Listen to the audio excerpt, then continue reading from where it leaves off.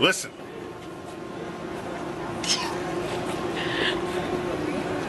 Science is all around us. It's in us. Knowledge of science is power.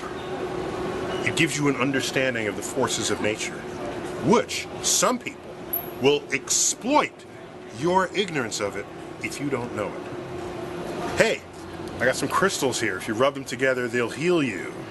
Oh, you might say, well, what are the crystals made of? What, what, what diseases do they cure? Where did you get them? How much do they cost? Why do they work? You start bringing forth that series of questions, the person runs away in tears because you know how to ask questions about the natural world. It's not even about how much science you know.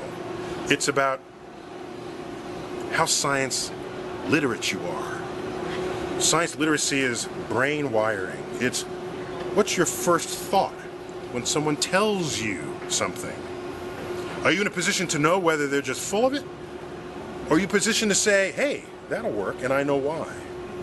The laws of physics, chemistry, biology, they allow it. They thrive on it. So, I say to you, if you're one of those who says, well, that's science, oh, that's not me, science is you. And the sooner you know it, the more empowered you become. Science literacy is a vaccine against all the fuzzy thinking that goes on in the world. Why not get vaccinated?